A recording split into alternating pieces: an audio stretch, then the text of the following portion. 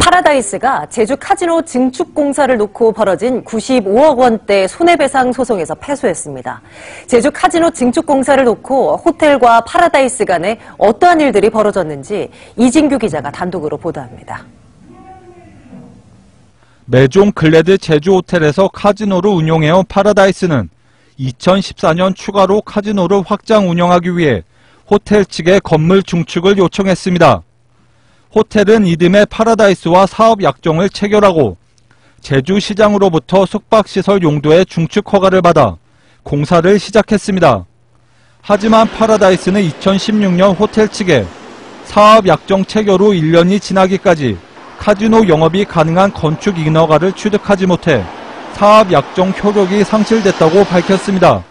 이에 호텔 측은 카지노 용도로 사용하기 위한 인허가는 법령상 카지노 영업 주체가 신청해야 하고 임대인이 인허가를 받을 사항이 아니라고 답했습니다. 그러나 파라다이스는 카지노 시설은 건축법상 위락시설 용도의 건축물에서만 영업이 가능하다며 호텔 측이 용도 변경 절차를 이행해야 임대차 계약 체결이 가능하다고 재차 전달했습니다.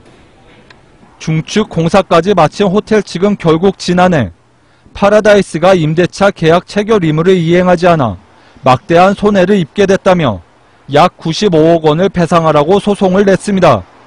파라다이스는 소송에서 해당 건물에서 카지노 영업을 할 수 없음이 분명해 임대차 목적을 달성할 수 없다며 손해를 배상할 이유가 없다고 맞섰습니다.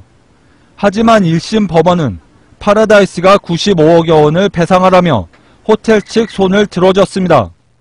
재판부는 카지노 영업 허가를 받아야 하는 주체는 파라다이스고 파라다이스 요청에 따라 호텔 측이 많은 비용을 들여 건물을 신축했다고 판단했습니다.